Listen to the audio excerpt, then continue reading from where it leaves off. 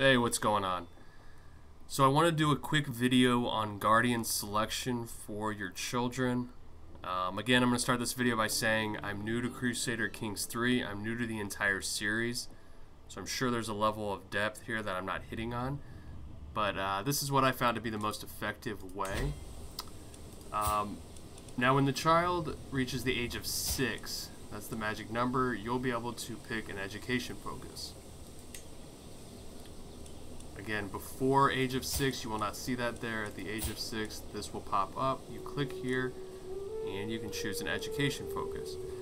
Now, some of these are going to be green, um, and these are ones that the child will benefit from choosing, where others will be red, and they'll be at a disadvantage. So if you click on here, it says, you know, rowdy children might struggle with learning this education, and that's because they have that trait.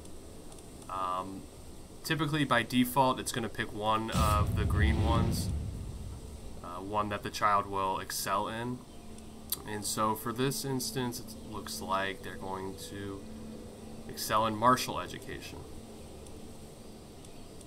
Knowing that we are going to align the guardian with someone who's strong in that field. So if you right click educate child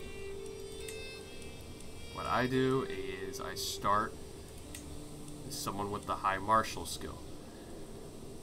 Now, I know there's other benefits. Um, you can weigh a few things. I mean, choosing a guardian will increase the opinion of you by 15.